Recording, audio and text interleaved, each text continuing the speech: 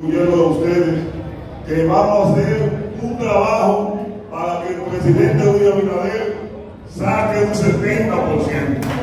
Cuando yo decía con mucha gente decía que este tipo está loco. Pero hay que darle gracias a Dios que tenemos aquí un hombre joven que todo el mundo aquí lo conoce. Una persona que trabajando, orientando a todos los compañeros del PRM y a la comunidad completa, miembro del comité ejecutivo de nuestro partido. Y hoy nos complace presentar a Roberto Salcedo Ángel, a Roberto Ángel Salcedo, que está aquí con todos ustedes para darles una salutación.